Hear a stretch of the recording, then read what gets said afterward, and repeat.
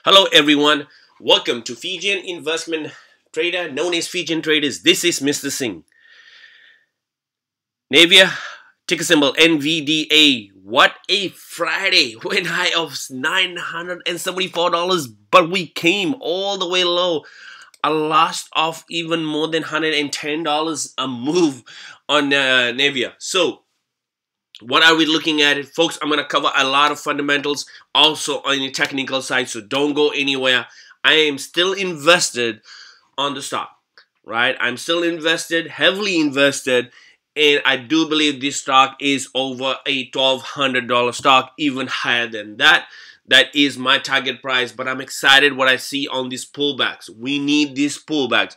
And i'm going to talk to you why we had this pullback right from the get-go um, actually, in two hours on Friday, the market was open, and after that, from as soon as we went 974, we came low of $683. After market was closed, was $850 on Nvidia. So, fundamentals. Um, I'm gonna share with you guys what are we looking at. One of the things is the top ALL stock to buy in 2024 in March is Microsoft, Nvidia, and Dell Technologies. Nvidia, there are smaller AI stock that can offer more excitement, but don't underestimate how much higher the lead the leader can go still. Like I said, I believe this stock it is gonna be a game changer on that. I surprise it gives me a feeling how Tesla used to do it in right before the pandemic um, and we're moving over 1200 uh, to close to like 1600 to 2000 before the split happens on Tesla. But this is very exciting news for Nvidia. Nvidia uh, shares drop a, significant stock struggle. Right? What happened with that? Nvidia hot stocks made some eye-opening moves lately. The big reversal was like today through hasn't happened more than two years. The chip maker whose stock has recently been down more than 5% and raising and 5% earlier in the session. Shares has non-fall raising at least 5% of intraday since January of 2022 according to Dow Jones data. Today's move comes with so-called Magnificent 7 tech stock poised to log a down bid, but all Nvidia is poised to finish in red for the week, but only Apple and Alphabet were rising today. Also, what was was happening? We know the unemployment. The data came on on when SPY, Dow Jones, Nasdaq all were down on Friday due to the higher employment rate came on that.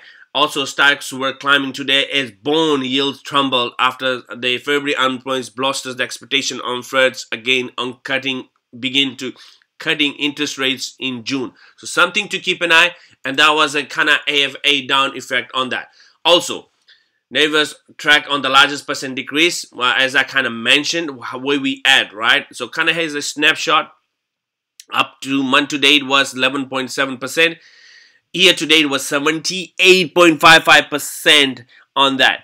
Uh, down to uh, like all-time closing was on Friday. That happened on March 7th was 4.58%. And it's like an upside of 52 weeks was 285% what a run we have, are seeing on Nvidia. So, what are we looking at it, right? It is common. I did mention on my previous video that you will see that. On the 5-day chart, we have been, you can clearly see that the 60-day was my, my pink line who has been a, a moving average, um, has been acting as a support time and time and making higher, higher highs. But on Friday, we had this downtrend pattern. We're going to shift the gear we're gonna shift the gear to a one month. This chart reminds me of SPY 500 and we went always there when they had this massive run. We broke through right? You can see the blue line which is my 60 day EMA has acted as a support and time and time every time we kind of came close and break through.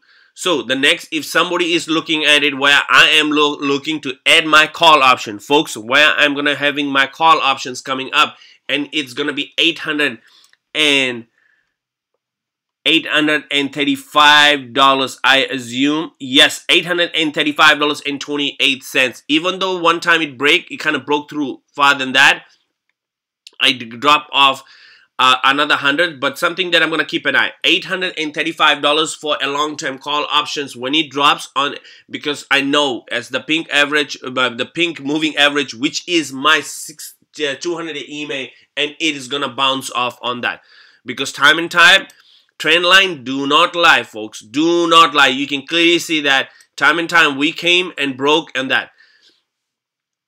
The 600 the 60 day EMA the blue line on the six months is also sitting at 833 so 830 to 835 is an area for I'm looking at it very closely now to add my call options coming up because we had this huge gap down the next level is gonna be it's $719 because that is a six month chart do I see it coming around there I can see testing this blue line and breaking it out right? And it can comes and bounce back again and making higher highs. If it doesn't hold, right, $830. So 830 that I'm to be keeping eye very closely. Between 800 to 835. If it doesn't hold and it keeps dropping, then 719 might be coming in play for a if somebody's looking for a swing trade and that's something I am very particular because I am came in the game at around $700 so where if it drops below 700, it comes start coming, then I'm gonna share my shares and might start my new position on that to lock the profit.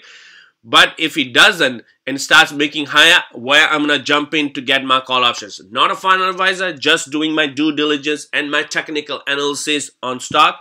So I'm not telling you what to go, what to buy. This is my plan, what I'm trying to do, and I'm gonna share with you guys on the next video if it drops on that, and I will we're gonna purchase some call option for a long term of a $1200 call options which is too good too price too cheap and couldn't resist to do that so something to keep an eye. Also on the year to date I know you guys must be having a great weekend watching this video on Sunday mornings which are gonna be published and having a wonderful day. 669 around there 670 we gotta keep an eye which is gonna be the two moving average sitting lows over here. I am not worried about it. I like I said I am not worried about it. The next the next is gonna be even sitting right over here at $830 you can clearly see the gap over here at Hector and where it been trading on that. So when we had this gap down we had this gap up. So $830 is something that we gotta keep in very very closely and gonna have that. Also, the order flow, you can clearly see that we had a lot of sellers on the news came out and pushed the price down, right? A lot of powers on that. The growth capability on this stock on the current basis is 6.4%. It is a phenomenal, phenomenal rating on that. Whereas analysis have 56 analysis is still saying buy, strong buy of 33 and buy at 55%. The high is 1400. My target is 1200 to seeing it, but 1400 is absolutely is going to be game changer where you might see an option of split. You might see an options of coming in and the price. But once he breaks the thousand, uh, there is nothing going to be stopping that coming to a 1400 it was going to be a massive upside on that but it is coming it's dropping it's a healthy pullback it happens i've seen it time and time where it has done it and where I have logged in and started my new position either for a call options absolutely at a discounted price. Couldn't resist on that. So let's see what Monday, Tuesday comes in on the market. If we're gonna see a more downtrend pattern coming in, which I can see it happening it, I can clearly see it dropping and testing that level right here on the six months, which is the blue line, which is sitting at $835, eh, $833. And if it breaks that, then definitely 719 might come in play. So we got to be very careful on that. But before that, I, I'm very confident to see that eight $783. So two key levels, even though we break out, you can see that on the six months, we did kind of coming to a close very soon on the six months and $833.